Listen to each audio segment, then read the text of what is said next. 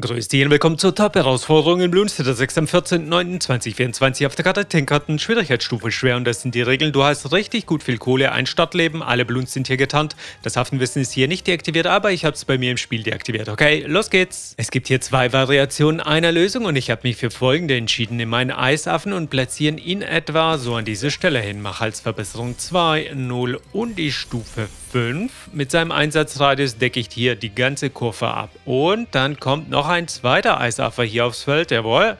Den Eisaffen gibt es heute im Doppelpack. Der bekommt als Verbesserung 5, 0 und die Stufe 2. Okay, jetzt kannst du dein Spiel schnell laufen lassen. Ich weiß nicht so recht, ob die Stufe 5 beim zweiten Eisaffen notwendig ist. Ähm, mit Stufe 4 habe ich es nicht probiert, aber womöglich würde es damit auch funktionieren. Okay, hier kommen sehr viele getarnte Keramikbloons, aber die werden richtig schnell von unseren Eisaffen hier zum Platzen gebracht. So, das ist der Sieg. Ich bekomme hier 90 Affendollar und einen Klebstoffschützen mit 002. Okay, das war's. Danke fürs Zuschauen. Ciao. Ende und aus.